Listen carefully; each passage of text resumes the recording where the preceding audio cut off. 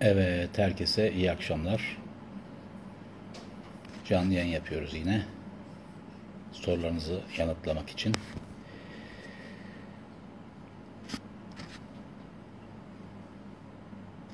Evet. Bakalım neler soracaksınız.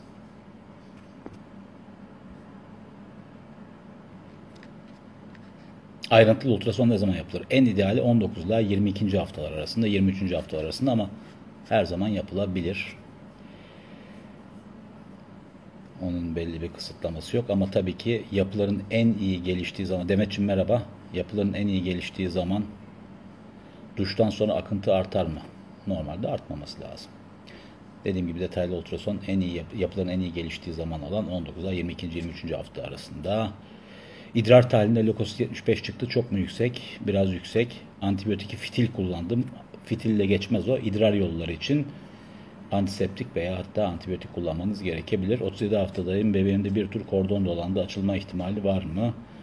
Kordon dolanması çok sık görülen bir şey. Geçenlerde bahsetmiştim.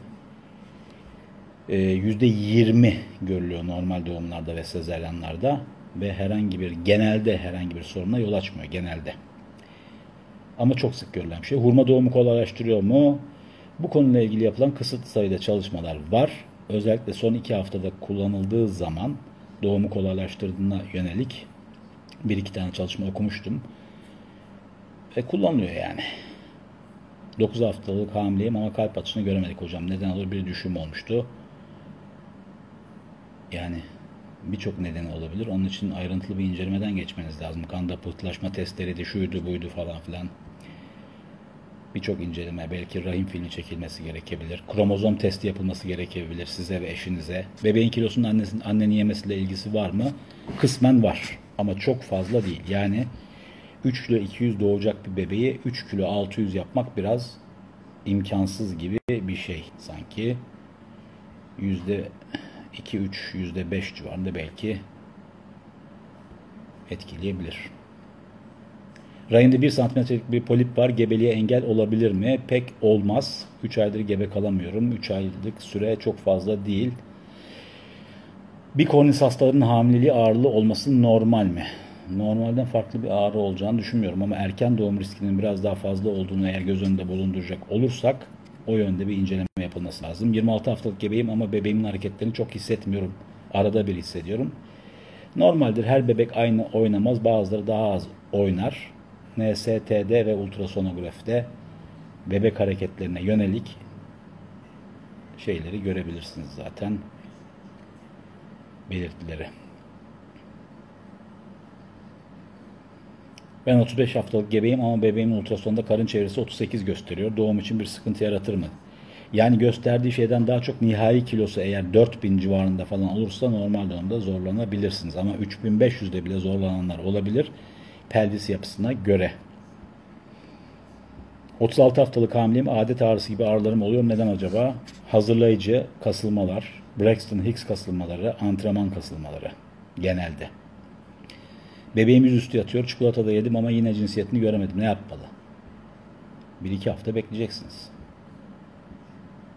Beyinde 10 mm sıvı çıktı. Sizce ne olur? Sorun olur mu? 10 mm üst sınır detaylı ultrasonografide ve bütün gebelik boyunca genelde 16. haftadan itibaren 10 milimetrede eğer beyin anatomisinde başka bir özellik yoksa, beraberinde başka bir anomali yoksa, beyin içinde özellikle o zaman bir sorun olacağını zannetmiyorum. Ama dediğim gibi 10 mm tam sınır biraz daha detaylı incelenmesi lazım.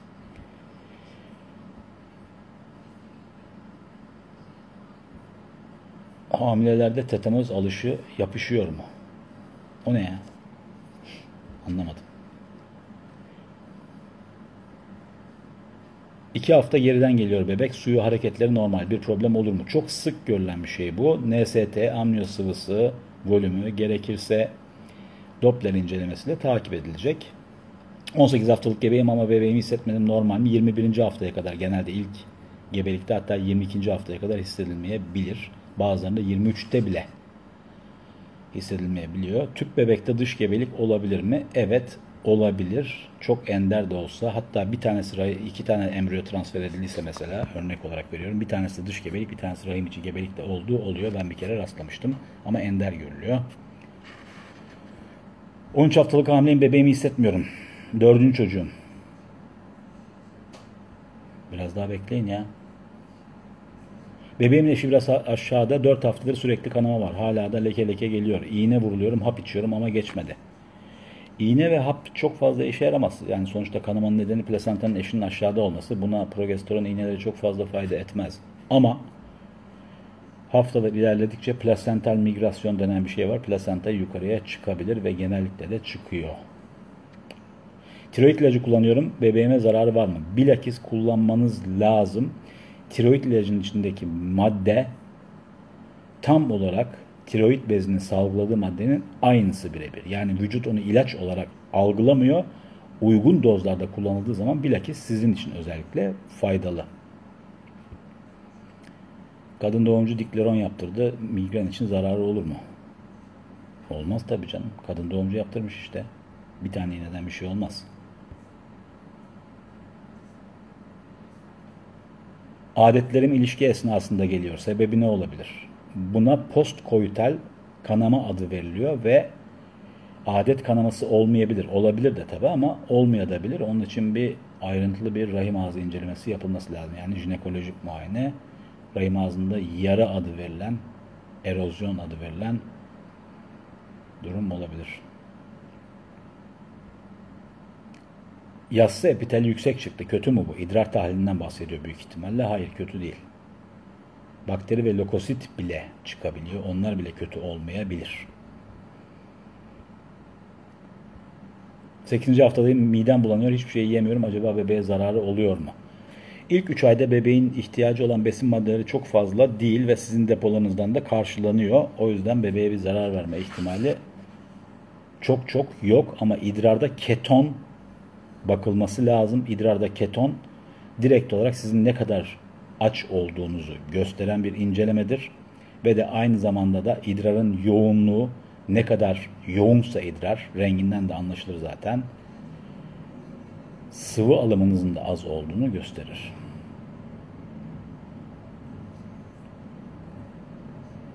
Tokso IgM pozitif deniyor ama çok önceden geçirmiştim, eminim. Nasıl emin oldunuz? Nasıl oluyor? Yalancı pozitiflik olabilir mi? Yalancı pozitiflik olmaz da IgG pozitif yani çok önceden geçirilse bile IgM bile yıllar boyu çok düşük titrelerde pozitif kalabiliyor. IgG avidite yapılması lazım. Antikorların ne kadar eski olduğunu yani bağışıklığın ne kadar önce geçirildiği, 3 aydan önce mi yoksa 3 ay içinde mi geçirildiğini anlamak için. Bir ay önce cinsiyetini %80 kız dediler. Bugün doktora gittim erkek dediler. Hangi birisi doğru olabilir? Bilemem.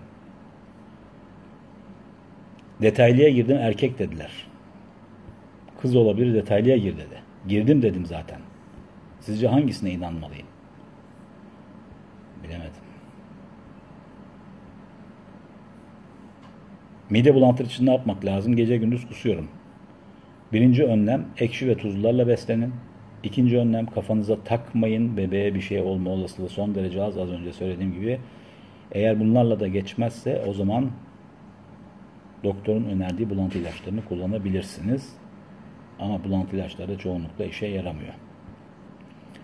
34 haftalık hamileyim. Amniyon sıvısı 9 cm olmuş. Yani 7 cm'den fazla. Tek cep ölçümünden bahsediyorsunuz. Herhalde biraz fazla.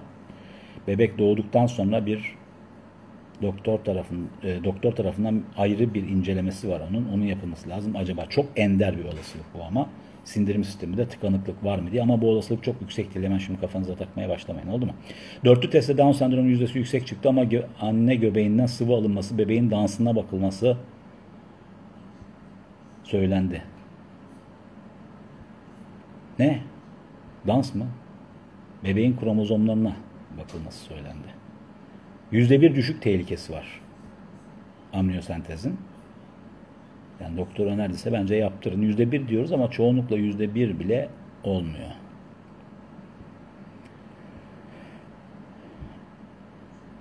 29 haftadayım gece bacaklarıma kramp giriyor. Bilgi rica edeceğim.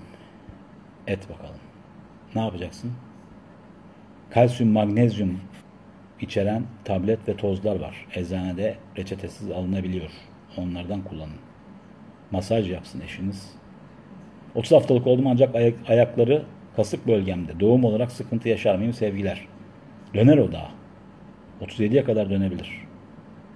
Ayak gelişi çok ender görülen bir şey. Omega 3 kullanmıyorum. Bebek de haftasına göre ileride. 35 haftalığım. Bu çok sık görülen bir şey. Yani omega 3 kullanmak zorunda değilsiniz. Koyu yeşil yapraklı sebzelerden bol bol tüketiyorsanız eğer balık yiyorsanız ki balık mevsim değil aslında ama o zaman omega 3 kullanmaya da bilirsiniz. Bebeğin haftasının ileride olması çok sık görülen bir şey. Çok su içtiğim halde idrarım çok koyu sarı. İdrar tahlilinizde eğer enfeksiyon yoksa o zaman çok da fazla su içmiyorsunuz veya çok su içmenize rağmen çok terliyorsunuz. Yani terleme deyince böyle şıpır şıpır terleme olmak zorunda değil. Solunum yollarından da sürekli sıvı kaybı oluyor. Ondan sonra e, ciltten de sürekli sıvı kaybı oluyor. Özellikle hamilelikte bu ciltten olan sıvı kaybıyla beraber solunum yolunda olan sıvı kaybı çok hızlı. Yani su metabolizması çok hızlı. Eğer idrar yolunda enfeksiyon yoksa o zaman sıvı alımınız veya işte sıvı alsanız bile onun tüketilmesi vücut tarafından turnover fazla demek ki.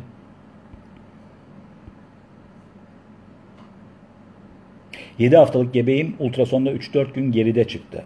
İlk trimesterda, ilk 10 haftada özellikle artı eksi 5 gün çıkması normaldir. Sezeryen korkumu nasıl yenebilirim? Boş ver niye korkuyorsunuz ya? Artık günümüzde ameliyatlar çok güvenli. Nasıl yenebilirsiniz başka? Boş ver deyince oluyor mu öyle? Ya işte bu da hayatın bir parçası. Ne yapacaksınız işte anne olmak kolay değil.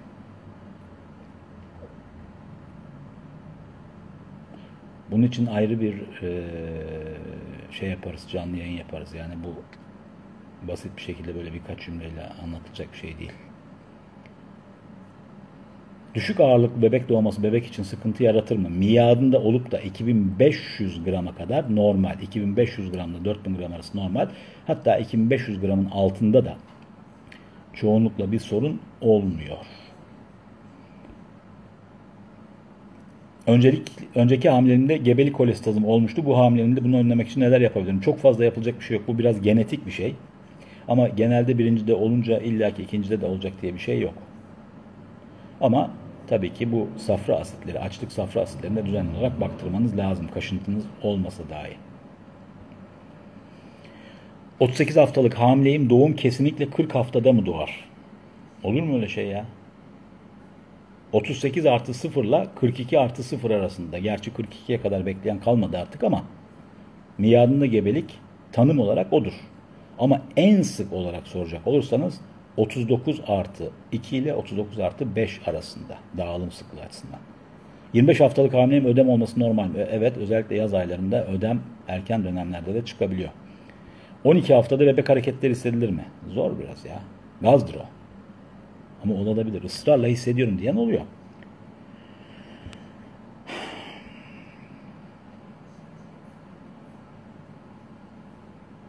17 Temmuz termin ama geç gelebilirim hocam. Ne bu ya? Hakan Akçura. Biraz daha açar mısın konuyu? Hocam cevap bekliyorum. Acil demiş ama soru yok. Ayrıntılı ultrason e, yaptırmam şart mı?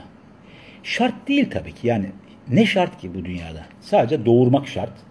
Ama onun dışında ayrıntılı ultrason yapılınca neler kazanırsınız? Ben size söyleyeyim. Birincisi bir kere doğduğu zaman yoğun bakım koşulları yüksek olan bir hastanede doğum yapmak zorunda kalınan bir bebeğin tanısının koyulması özellikle kalp anomalileri ve özellikle işte ön duvar defekti dediğimiz gastroeşizis onfaresel bunlar gerçi normal ultrasonda da gözüküyor ama detaylı ultrasonda daha böyle e, net gözükebilir. Böyle bir karar verilebilir. Yani siz hastanenizi değiştirmek zorunda kalabilirsiniz. Birincisi bu ama tabii ki söyleyeyim kalp anomalileri, bu tür kalp anomalileri çok fazla değil. Birincisi o. İkincisi rahim ağzı kalınlığı ölçümü yapılıyor. Erken doğum riskiniz eğer yüksekse ona göre bazı önlemler alınması lazım. Detaylı ultrason zamanında. Üçüncüsü renkli Doppler yapılıyor. Gebelik zehirlenmesi riski belirleniyor. Çoğunlukla çıkmıyor. Ve de her şeyden önce bu üçü de normal olduğu zaman sevinmez misiniz? Ne kadar güzel. Detaylı ultrason yaptırdım. Her şey normal çıktı. Detaylı ultrason yaptırmamış olduğunuz zamanki rahatsızlıklarınızın hepsi ortadan kalkmış olur. Yani bir anlamda rahat etmek. Çünkü detaylı ultrasonda illaki bir şey çıkacak diye bir şey yok. Çoğunlukla da bir şey çıkmıyor.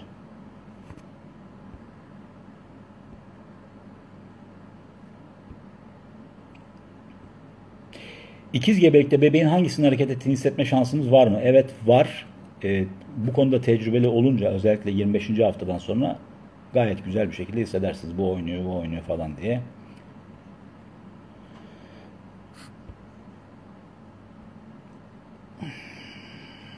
Bebek doğduğu zaman 2500 gramdı. 2 haftalık sonra da yine 2800, 2800 gram doğdu. Sonra 2 hafta sonra yine 2800 grammış. Onunla ilgili bir şey söyleyeyim. Bebek doğdu diyelim 3 kilo. Taburcu olurken bir gün sonra veya iki gün sonra %10 civarında bir kilo kaybına uğrar. Ödemlerini atar. Tamam mı? Bu fizyolojik bir yeni doğan bebek kilo kaybıdır. Olmak zorunda değil ama çoğunlukla oluyor. Sonra da 10. günde genelde doğum kilosuna geri döner. Şimdi doğum yapacak olanlar da bunu işte bilsin diye özellikle vurguluyorum. Yani doğum kilosundan sonra taburcu olurken bebeğin kilosunun azalması tamamen normal. 10. kiloda genelde doğum kilosuna dönmesini bekleriz. Yaklaşık bir aydır cinsiyetini göstermiyor demiş. Ya bu cinsiyet sorularından ben bıktım ya. Vallahi bıktım. Yani bu cinsiyetle ilgili soruları okuyorum ben ama bıktım yani. Bıktım bıktım. Epidural sezaryen oldum 12 gün oldu bacaklarım çok ağrıyor. O daha çok ödeme bağlı olabilir mi acaba? Yani epidural sezaryen sonrasında 12. günde bacaklar neden ağrısın? Bir kalsiyum magnezyum takviyesi alın bakalım. Belki şey kramp olabilir. Çok tipik değil doğum sonrası ama 24 haftalıyız bebeğin kafası aşağıda dedi doktorumuz. Aklıma takıldı. 20. haftadan sonra bebekler baş aşağı dönmeye başlar. Şunu unutmayınız ki sevgili anne adayları bebeğin kilosunun üçte biri kafasında. Bizim öyle olduğumuzu düşünebiliyor musunuz? Ama içerideki oranlar böyle. Ne oluyor? Daha ağır olduğu için vücut aşağı doğru geliyor ve erken doğum belirtisi değildir.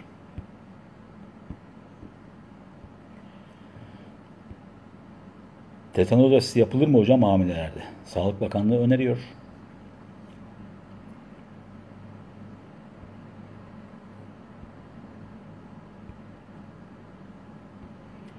MRSA enfeksiyonu mevcut demiş. Sütüme etki eder mi? Metisilin rezistant Staphylococcus coccus aureus MRSA tedavi edilmesinde fayda var. Sütünüze etki edeceğini zannetmiyorum ama.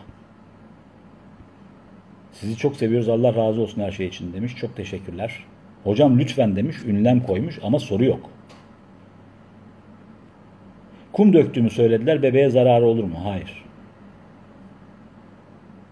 El ve ayakta şişme çok. 38 haftalık hamileyim. İdrarda eser miktarda protein var. Eser miktarda derken tanımlamak lazım onu. 24 saatlik idrarda protein bakılması lazım. Yani 20, eser miktarda demek her zaman ne kadar miktarda olduğunun bilinememesi demek. Az da olsa eser az demek. Ama 24 saatlik idrarda protein bakılması.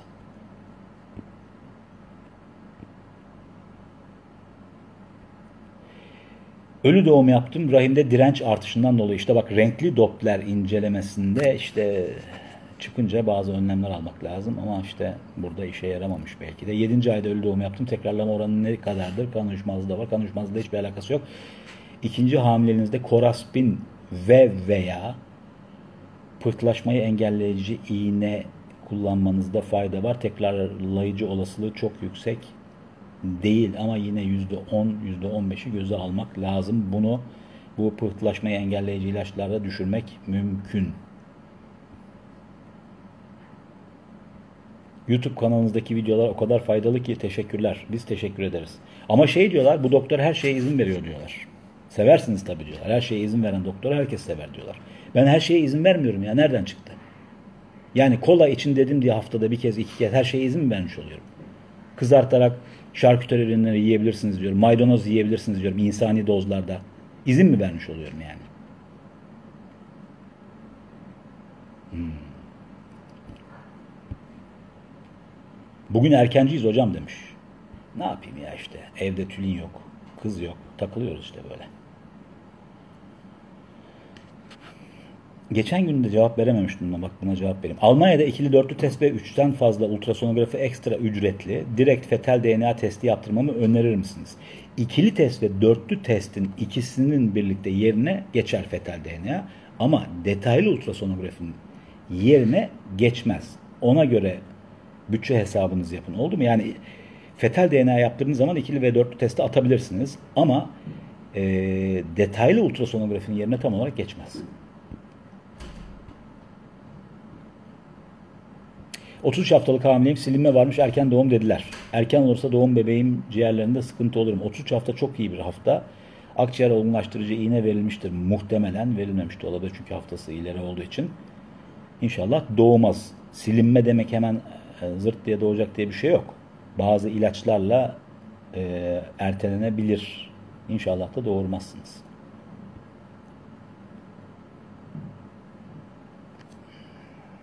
31 haftalık olacak oğlumuz.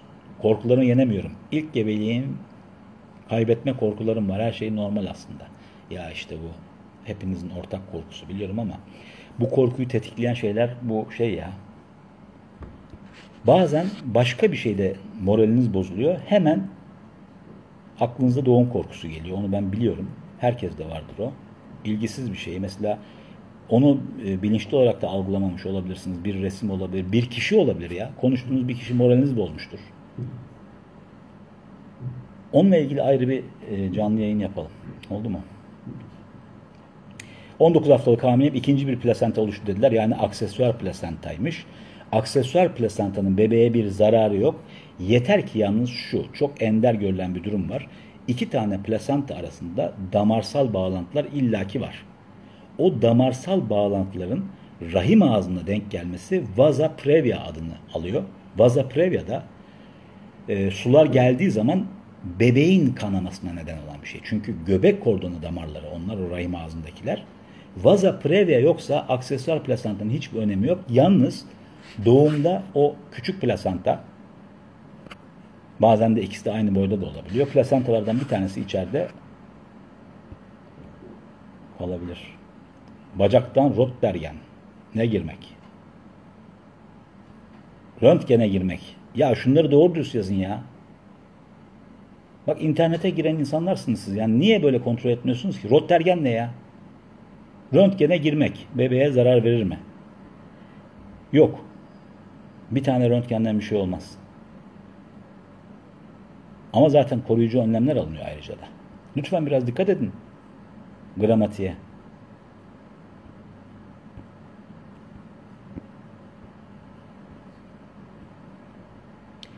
23 haftalık hamileyim hepatit B aşısı yaptırmadım. Sorun olur mu? Doğum sonrasında hemen yaptırın ama yüksek risk taşıyorsanız. Bu ne demek? Aile bireylerinden bir tanesi hepatit B taşıyıcısıysa hamile bile olsanız yaptırmanız lazım.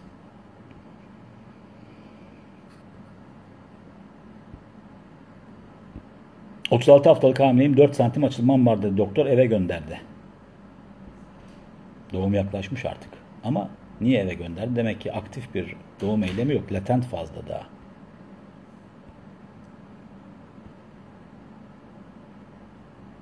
Doğuştan tek sol böbreğim var. Kazakistan'dan yazıyormuş. 9. haftada hamileyim. Bir sorun olur mu? Yok.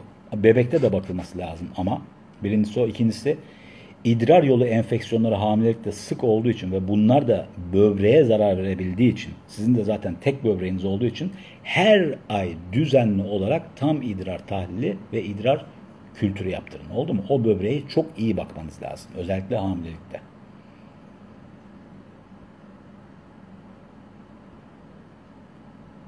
16 haftalık hamileyim bebeğin eşi önde dedi.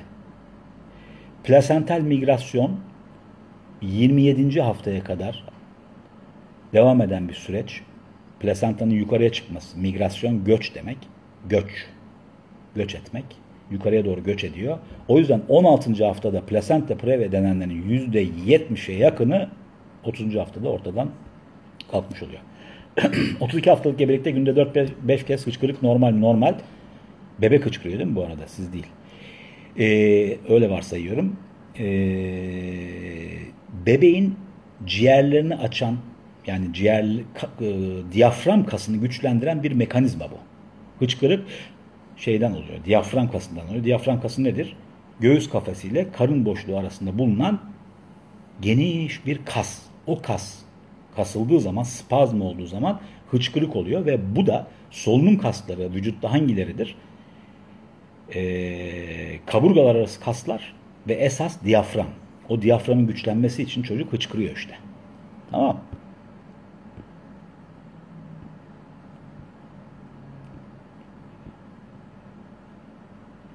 Kaçıncı haftada normal doğum olacağını söyler doktor. 37. haftada çatı muayenesi yapıyoruz. Bazı doktorlar da doğum sancısı başlayınca yapıyor. 14 haftalık hamileyim bebek rahime çok yakın dedi doktorum. Yukarıya çıkar mı? Çıkar. Bu haftalarda zaten rahime rahim içinde zaten yakın derken rahimin kalp, şek kalp şeklinde olması tedavisi var mı? Sadece uterus arcuatussa yani hafif bir bombeleşme varsa sadece o bombeleşme ilerledikçe buna artık kalp şeklinde rahim değil e, septum yani içinde duvar olması perde daha doğrusu perde olması diyoruz. Ama arkuatus genelde bir soruna yol açmaz ve tedaviye de gerek yok. Bebeğin kalbindeki parlaklık ne demek? Ayrıntılı ultrasonda çıktı. Sol tarafta ve tek taraflı parlaklık ekojen intrakardiyak odak çok sık görülen bir şey. Beraberinde başka bir ultrason bulgusu yoksa tek başına bir anlam ifade etmiyor. Gördüğüm en mütevazı doktor. Teşekkür ederiz. Biz teşekkür ederiz.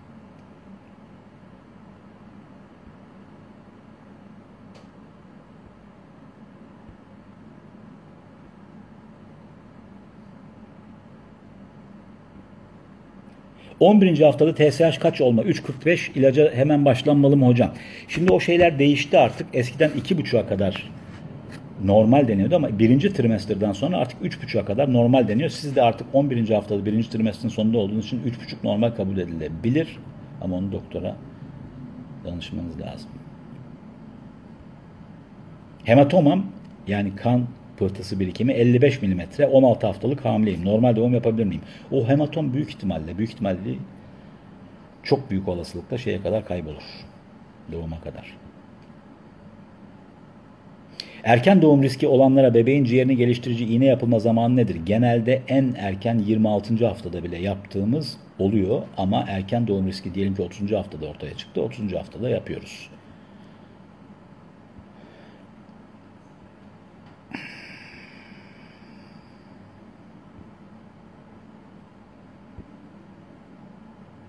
Bugün muayene oldum doktor. Kesesi düzgün ama etrafında kanama var dedi. Progestan verdi. Bu çok sık görülen bir şey. Kanama demek ki dışarıya boşalmamış, içeride birikmiş.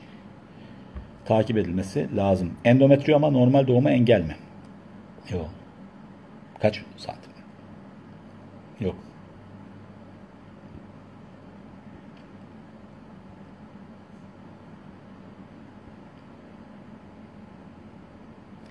15 haftadayım. Test değerlerim çok iyi. Hiçbir ilaç kullanmıyorum. Akışına bıraktım. Hamileliğimin içimdeki mucizenin tadını çıkarıyorum demiş. Ne kadar güzel. Çok şanslısınız böyle hissettiğiniz için. Herkese inşallah öyle duygular dileriz. 5 haftalık hamileyim BTC 2500 kese görünmedi sadece biraz su birikintisi var dedi. Normal mi? Yani o rahim içi gebelik kesesi mi acaba? Çünkü 2500'de görülmesi lazım artık. Takip edilsin bakalım. Karın ağrısıyla gittin kum döküyorsun dediler. Bebeğe zararı olur mu? Olmaz. Detaylı bebeğin kalbinde parlaklık çıktı. Ne demek? Demin dedik. Kordon kisti, ikili kordon, kalpte delik var. Fallodan şüphelendiler. Amniyosentez yapıldı. Sonuç ne çıkar? Ne bileyim ben ya. Ama şöyle fallodan şüphelenmek demek illa fallo olacak diye bir şey yok. Kordon kisti ve fallo şüphesi büyük ihtimalle herhalde aort damarında böyle bir şey gördüler. Yani Aort damarı iki şeye birden giriyor olabilir. Kalp boşluğuna birden giriyor olabilir veya pulmoner arter e, dar olabilir. Sağ ventrikül genişlemiş olabilir. Kalpte delik olabilir. Bunların varlığına ve yokluğuna göre risk o kadar yüksek çıkıyor. Yani bu bulguların hiçbirisi yoksa sadece kordon kisti varsa o zaman bir şey çıkma olasılığı son derece az. Zaten 1 bölü 1640 çıkmış. İnşallah bir şey çıkmaz.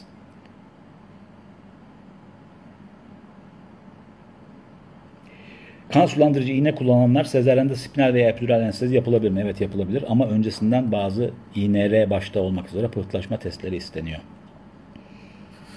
21. haftada ayrıntılı ultrason olur mu? Olur. Organları görebilir mi doktor? Görür. 19 ila 22-23 haftalar arasında. Erken doğumdan çok korkuyorum demiş. Geçen günde birisi vardı ya 37 haftalık hamileyim erken doğumdan çok korkuyorum demiş. Yok artık ya 37 haftalık olmuş artık. Nifty tahliliyle ilgili bilgi verir misiniz? Nifty sadece bu fetal DNA testlerinden bir tanesi. Anne adayının kanında bebeğe ait kromozomların analizini yapıyor ve size çok büyük olasılıkla yok dedirten bir test. Yani ikili test ve dörtlü testten daha fazla olasılıkla yok dedirtiyor. Folik asit bulantı yapar mı? Yapar. Hocam cevap verir misiniz demiş ama soru yok.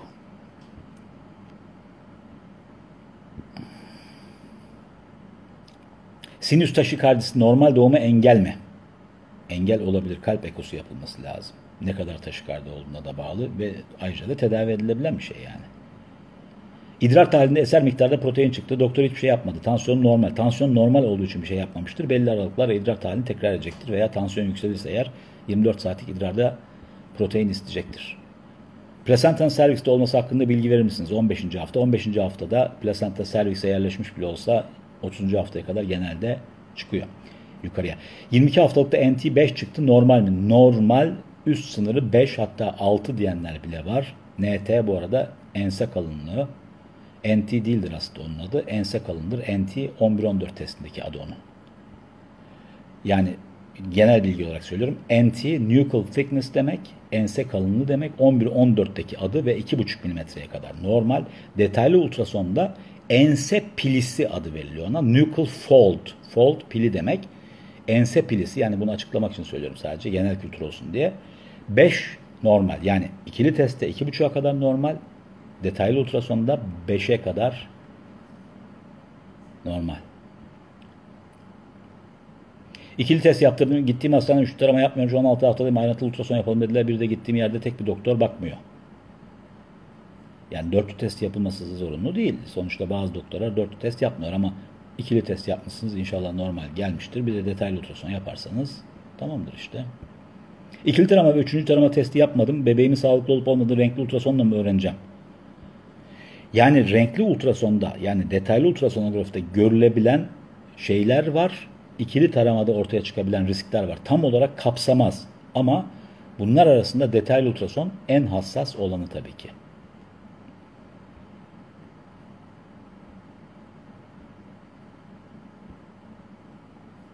28 haftalık erken doğum bebek yaşar mı? İnşallah erken doğmaz. 28. haftada yaşama olasılığı çok yüksek ama uzun süre küvezde kalır.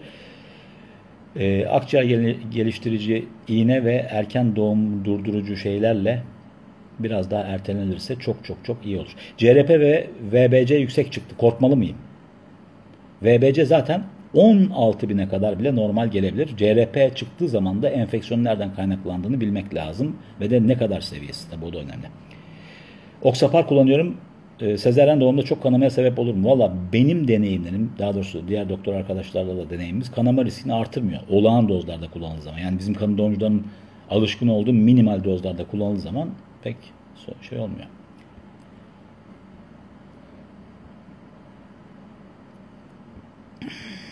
Kasık fıtığım var normal doğum olur mu? Genel cerraha danışın. Olabilir ama. Fıtık boğulması olur mu normal doğumda ya? Olabilir mi acaba? Yok. İkili testte sıkıntı çıkmadı. Üçlü ve dörtlü test. Üçlü ve dörtlü test değil de üçlü veya dörtlü test diyelim. Genelde dörtlü test yapılıyor. Bazı doktorlar hem ikili test hem dörtlü test yapıyor. Bazıları sadece ikili test yapıyor. Bazıları sadece dörtlü test yapıyor. Üçü de uygundur. Doktorun şeyine göre. Hayat görüşüne göre. İsviçre Basel'dan severek takip ediyoruz. Verdiğiniz bilgiler çok değerli. Sağ olun. Çok güzel yerde yaşıyorsunuz ya. Ne kadar güzel. Teşekkür ederiz. Süt ürünleri yiyemiyorum 13 hafta. Süt ürünleri tüketemiyorsanız sütün kaynağı nedir? Sütün içtiğiniz canlı nereden alıyor onları? Koyu yeşil yapraklı bitkilerden değil mi? Direkt kaynağından alınsın da o zaman. Sezeryen göbeğini ne yapacağız? En kısa zamanda egzersizlere başlayın işte. Doktor izin verince.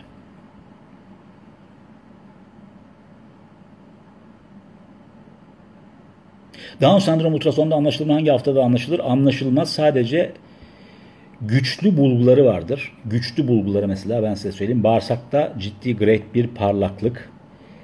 Ee, ondan sonra kalpte delik özellikle hem ee, karıncık hem de kulakçıklara kadar varabilen büyük bir delik varsa ondan sonra işte daha ufak tefek bazı bulgular varsa kafa içinde genişleme varsa falan bu Down sendromu olabileceğine yönelik bir fikir verir. O zaman ama amniyosentez yapmak lazım ki anlaşılsın diye.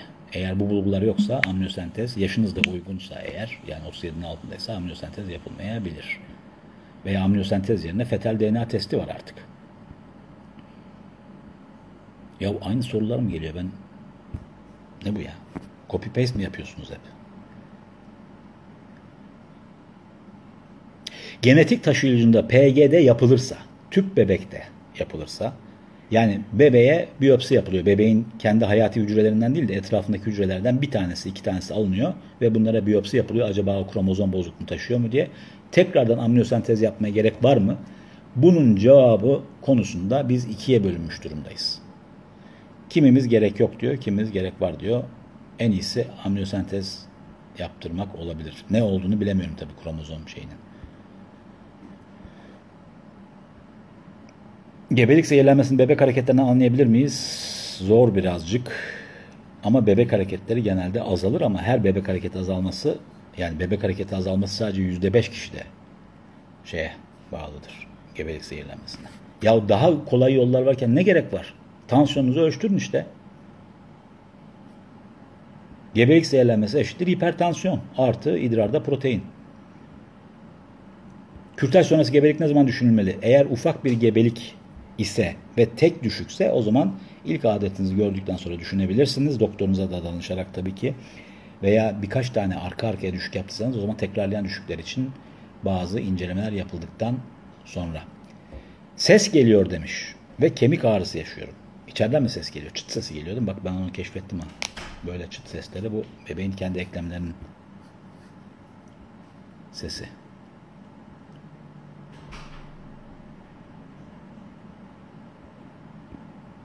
...32 haftalık hamileyim idrarda eser miktarda protein çıktı. Tansiyonum 11.7. Tansiyon normal olduğu için idrarda eser proteini daha iyi tanımlamak için belki 24 saatlik idrarda protein testi yapılabilir ama doktorunuza danışın. Tansiyon yüksek olmadığı için gebelik zehirlenmesi olma ihtimali son derece az. Hamilelikte stres, kaygı ne şekilde bebeği etkiler? Ya bununla ilgili ayrı bir yayın yapalım valla. Yani şimdi burada jinekolojik muayene zorunlu mu? Doktorun inisiyatifine bağlı. Ne için jinekolojik muayene?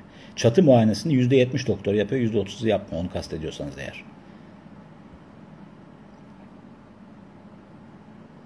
34 haftalık gebeğim bazen otururken nefes nefese kalabiliyorum. İşte metabolizmanın artışına bağlı kansızlık inşallah yoksa eğer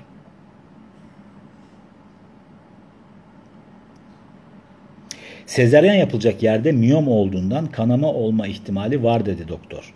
Tabii şimdi mesela şimdi biz şeyi açıyoruz, karnı açıyoruz. Tam böyle karşımızda büyük bir miyom var diyelim. O zaman ne yapıyoruz? O miyomun etrafından, o miyom birazcık böyle kenara doğru iterek oradan bebeği çıkartıyoruz.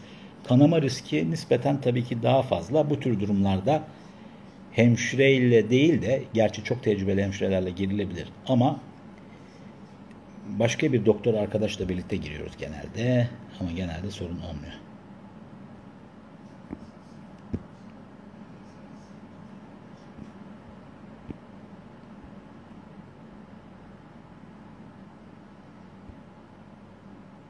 Kan uyuşmazlığı testi kaçıncı haftada yapılıyor? Eğer aranızda kan uyuşmazlığı varsa yani anne adayı olarak sizin RH negatifse, eşinizin RH pozitifse ve ilk gebeliğinizse yapılmaya da bilir. Ama genelde bir indirekt KUMS testi yapılan ilk testler arasında yer alıyor. Akar gebelik nedir hocam? O ne ya? Sıkar gebelik o, sıkar. Ne demek sıkar gebelik? Sıkar nedbe demek. Nerenin nedbesi? Daha önceki sezeryanın nedbesi. Yani sezeryanda daha önce kesilmiş olan rahim kesisinin yapıldığı yer bazen çok şanssız bir şekilde gebelik oraya yerleşebiliyor. Ona skar gebelik adı veriliyor. Onun maalesef yaşama şansı çok yüksek değil. Eğer ilerlerse de plasenta akreata dediğimiz duruma neden olabiliyor.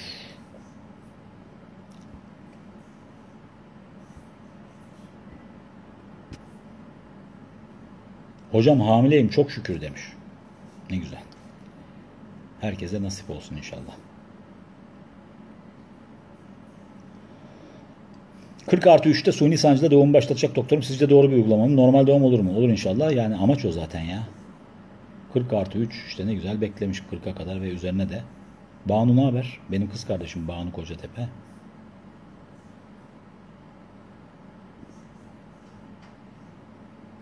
Hamilelikte amniyotik bant olmasının bebeğe zarar verme ihtimali ne kadardır? Amniyotik bant denilen şeylerin çoğu amniyotik bant falan filan değil. Çünkü orada bir şey görüyoruz böyle rahim içinde. Böyle bant gibi bir şey görüyoruz. Lif daha doğrusu görüyoruz böyle. Anne adayı da görüyor onu, baba adayı da. Eğer bebeğin kolları, bacakları serbest bir şekilde oynuyorsa ve de bebeğin boyun bölgesi de orada değilse ve tekse bazen de iki ise o amniyotik bant falan değildir. O rahim içi yapışıklıdır. Amniyotik bant çok ender görülen bir şey. Tamam mı? Büyük ihtimalle diyorum tabii ki. Az daha kaçırıyordum demiş. Ne kaçırıyordunuz? Ha canlı yayını demiş pardon. Haber vermiyoruz tabii ya. Herkes doluşuyor ondan sonra. Biz istiyoruz ki sizler gibi insanlar gelsin sadece böyle gerçekten ilgilenen. Haber vermeyeceğim. Bundan sonra da haber vermem. Bir tek tülinle yaptığım zaman veya konuk doktor arkadaşlarla yaptığım zaman haber veriyorum. Onun dışında yok haberim haber.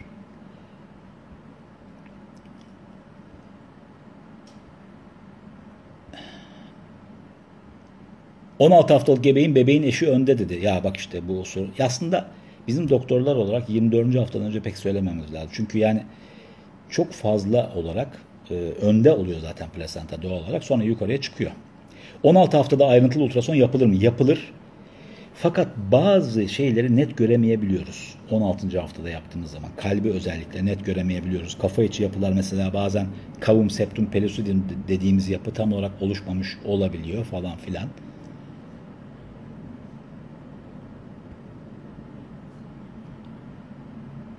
Egzersizlere kaçıncı haftada başlayabiliriz? İlk trimesterden sonra başlayabiliriz.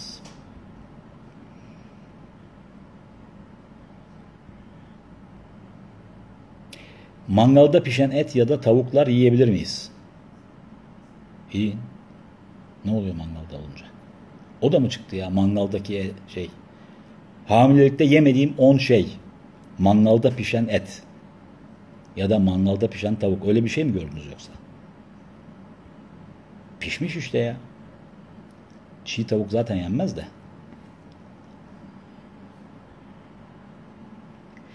Kan uyuşmazlığı var. Doğumdan sonra bir iğne yapılması mı lazım? Genelde e, uyguladığımız strateji şu. Hamilelikte 28. hafta civarında 34'e kadar hatta bir iğne yapıyoruz.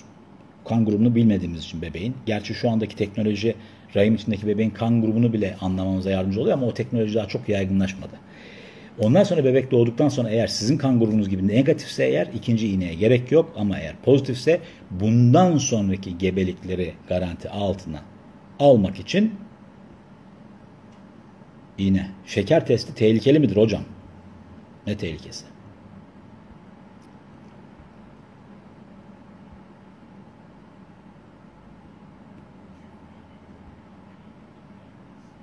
Doktor çok kaşıntım var ne yapayım demiş. İlaç.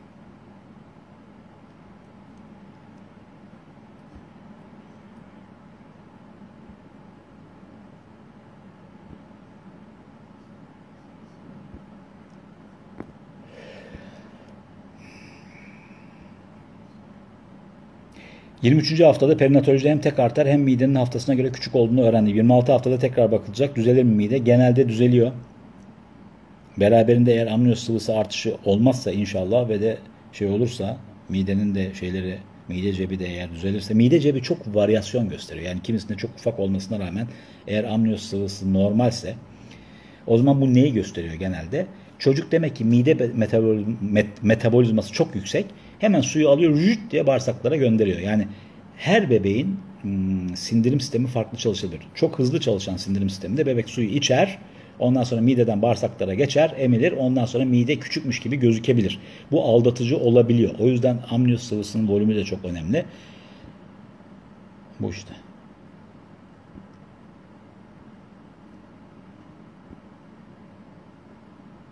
Kan beta değeri 2019 olup kese görünmemesi normal mi? Çok normal değil. 1500'den sonra görmek lazım. Hamilenin ilk 3 ayında yolculuk yapılır mı? Tabii ki yapılır. Do doktordan onay alarak. Kanamanız manamanız yoksa.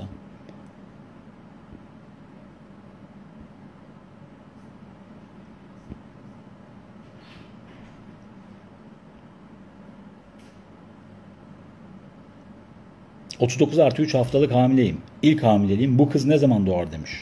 İstediği zaman doğar. Ne zaman isterse o zaman doğar. Bağdaş kurabilir miyiz demiş. Kurun. Ya şeyler falan var işte böyle damar tıkanıklığına yol açar falan filan diye ama kısa süreli bağdaş kurmak, bacak bacak üstüne atmak ben onun e, şey olacağını düşünmüyorum. Yani olumsuzluk yaratacağını düşünmüyorum. Doktor ya demiş. Ne kadar tatlı şeylere sinir oluyorsunuz demiş. Bu bir doktor arkadaş galiba. Boynunda stetoskop var. Benim doktor da öyle demiş. Aa pardon ya stetoskop mu? Askeri üniforma galiba. Sinir olurum tabi. Çok. Evet bazen öyle oluyor hakikaten.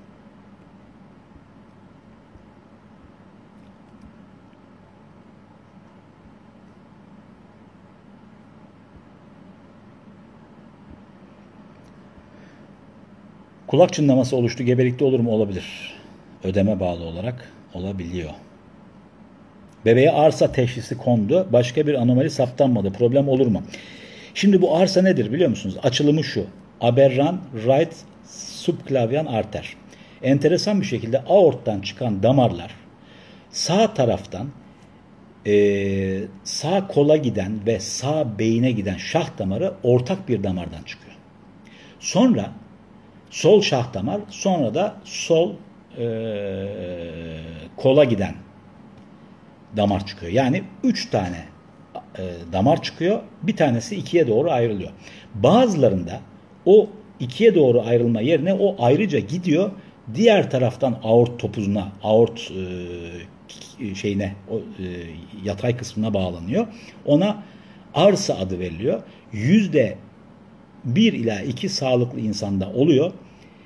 Yeni bir bulgu olduğu için genelde e, fetal DNA testi en azından isteniyor ama başka bir problem olmadığı zaman genelde hiçbir soruna yol açmadığını düşünüyorum arsanın. Spina bifida bir gebeliğimde çıktı. Diğer gebeliğimde de tekrar ederim. Folik asit eksikliği dediler. Hangi folik asiti kullanmamız gerekiyor? Direkt olarak yüksek doz folik asit. Fol biol kullanmanız lazım. İlaç ismi verebiliyorum. Neden verebiliyorum? Bu çünkü gıda takviyesi o yüzden. Veririm ya benim canlı yayınım değil mi? Ondan diyeceğim yani sonuçta bu e, gıda takviyesi. Tetanoz aşısı erken doğuma sebep olur mu? Hayır. Hamilelikte annede demir eksikliği olursa normal doğuma engel olur mu? Eğer çok ciddi bir demir eksikliği varsa normal doğuma engel olmaz ama sıkıntı yaratabilir tabii ki yani. Sonuç itibariyle kan eksikliği bu. Hamileyken bir kere X-ray cihazından geçtim. Sorun olur mu? Hayır.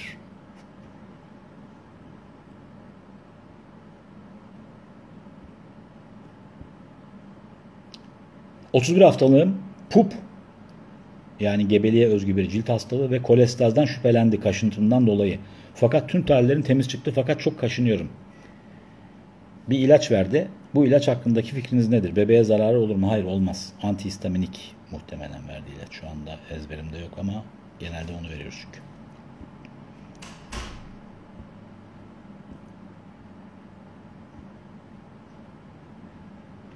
...33 haftalık hamileyim iç çamaşırımda ıslaklık oluyor... ...sarı akıntılı ve kokulu. Suyum olabilir mi? Olabilir tabii ki ya. Cık, olabilir. Yani bunun için muayene olmanız lazım. Çok büyük olasılıkla değildir ama... ...yani ıslaklık varsa... ...çok büyük olasılıkla o mantar enfeksiyonudur ama su da olabilir. Rahim parmak ucu açıklığında yumuşamasında erken doğum ertelenebilir mi? 33 haftalık. Yani e, 4 santimetreye kadar erken doğum ertelenebiliyor. 4 santimetreden sonra artık anlamsız diye düşünüyoruz.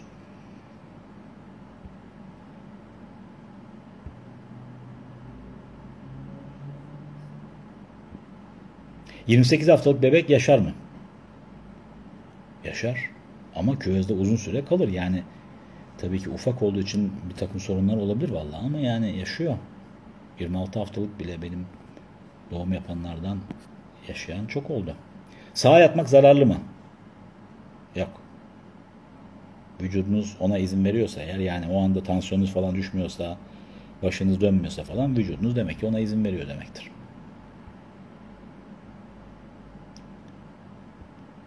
Kaç kez saç boyayabiliriz? 12. haftadan sonra boyayın. Beyazla, hemen mi beyazlıyor ya? Bir hafta sonra beyazlıyor mu tekrar? Kaç kere boyatabilir ki insan ne bileyim? iki kere boyatır. Haftada bir beyazlayan saç oluyor mu ya? Sırt üstü yatmak bebeğe zarar verir mi? Yok. Vücudunuzun kendisini serbest bir şekilde ifade etmesine izin vermeniz lazım. Ama tabii ki eğer tansiyonunuz düşüyorsa falan filan yani başınız dönüyorsa o zaman şey yatmamanız lazım öyle. Ama zararlı değil. Detaylı ultrasonda sıkıntı çıkma ihtimali nedir? Yüksek risk faktörlü bir anne adayıysa eğer, daha önce anomalide doğum, ailesinde anomali, ondan sonra bu bebekte, daha önceki ultrasonlarda yani aynı gebelikte daha önceki ultrasonlarda işte ense kalınlığı artış şu bu falan filan gibi şeyler varsa o zaman bir şey çıkma ihtimali son derece yüksek onu söyleyeyim. Ama genel olarak bütün hamile popülasyonları taradığımız zaman detaylı ultrasonda ciddi bir şey çıkma olasılığı sadece ve sadece yüzde bir civarında falan ciddi bir şey çıkma olasılığı. Yüzde bir bile değildir belki. Tek böbrek görülemedi. Sağlık durumu iyi fakat doğumdan sonra büyük bir sıkıntı olur. Tek böbrekli yaşayan bu dünya üzerinde yüz binlerce insan var. Tamam mı? Ama tabii ki tek böbreğini çok iyi koruması lazım ömür boyu. Bunun konusu biraz daha önce geçmişti.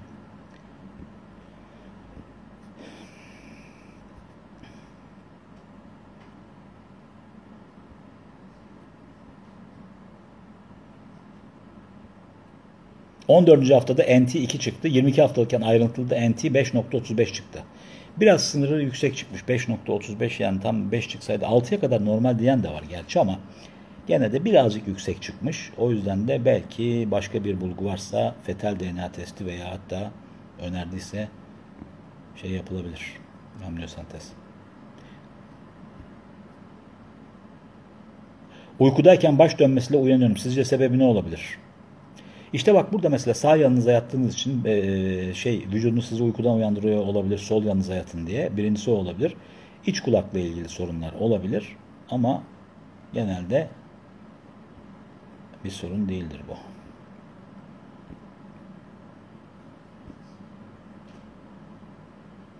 Detay, işte bak detaylı ultrason için olumsuz şeyler duyacağım diye endişeleniyorum. Yapılmamasının nedenlerinden bir tanesi o. Biz insanlar olarak korkağız. Bana bir şey olmaz diyenlerin aslında bana bir şey olmaz test mest yaptırmıyorum falan filan diyenlerin aslında korkusu var o yüzden. Korkacak bir şey yok bence ya. Çünkü çoğunlukla normal geliyor. Gebelikte annenin uçak, uçuk çıkartması, dudak uçundan bahsettiğinizi varsayıyorum. Bu yüzden krem kullanması bebeğe zarar verir mi? Hayır vermez. 10. haftadayım düşük riski azalmaya başlamış mıdır? Evet 8. haftadan sonra düşük riski azalır ama kanama olmadığını düşünüyorum.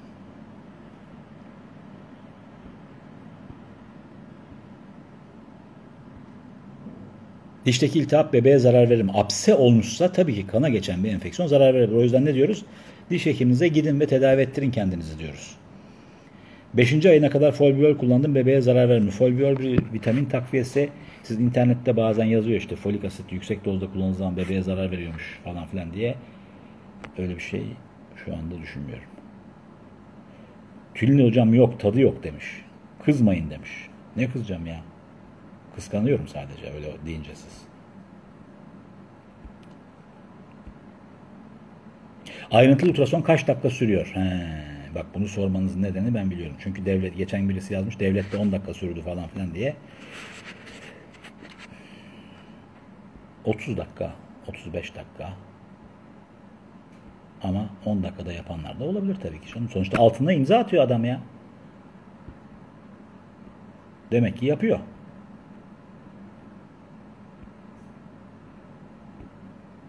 Ense kalınlığı 2 çıktı normal mi? İkili testte 2,5'a kadar normal.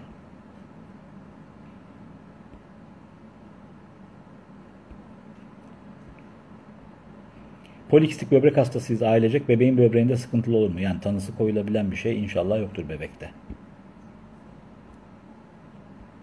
Gebelikte glifor kullanılır mı? Metformin içindeki madde onun B kategorisi olarak geçiyor. B kategorisi de hamilelikte kullanılabilen kategori demek. Mide yanması için Gaviscon kullanıyorum. Bebeğe zararı olur mu? Yok.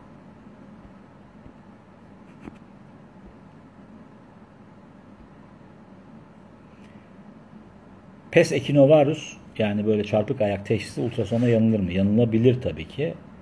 İnşallah yanılmıştır ama yani o görülebilen bir şey ya. Ama yani sonra da düzeliyor kendi kendine veya alçıyla. Ters rahim gebeliğe engel mi? Çoğunlukla ve çoğunlukla değil. Arsa çıktı problem olur mu? Demin arsayı anlattık.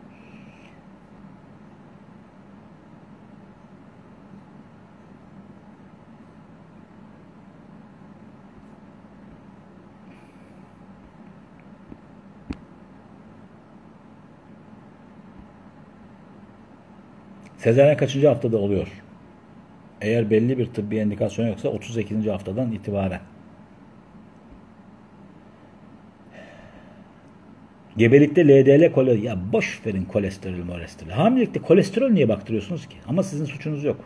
Şeye gidiyorsunuz, ASM'ye gidiyorsunuz, devlete gidiyorsunuz. Kolesterolden tut şeye kadar her şeyi yapıyorlar. Kolesterol hamilelikte bakmaya gerek yok. Bak gene kızdım işte. Çünkü e, gereksiz yere beyninizi kurcalıyor bu şeyler sizin. Mesela kreatinin düşük çıkıyor normal olarak. O da sizin beyninizi kurcalıyor. LDL kolesterol yüksek çıkabiliyor. Kolesterol yüksek çıkabiliyor. Trigliserit yüksek çıkabiliyor. Sodyum, potasyum bakılıyor bilmem ne falan.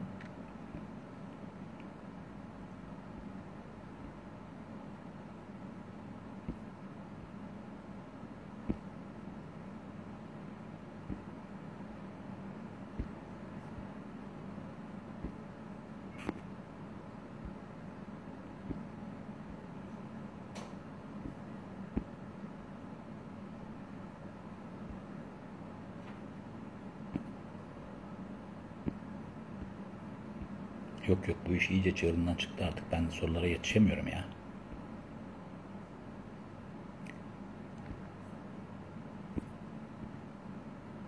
Benim sorum olacaktı demiş. Ankara'ya geliyor musunuz demiş.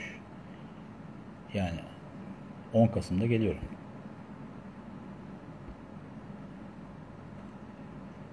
Doktorlar sadece kendi bağlı bulundukları tabip odasında çalışabilirler. Tamam mı?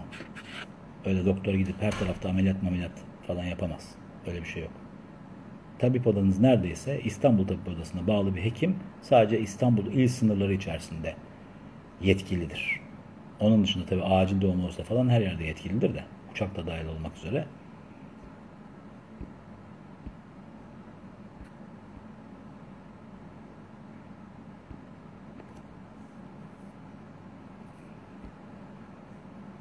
Vitamin alınca kusuyorum içmememin bebeğe zararı olur mu?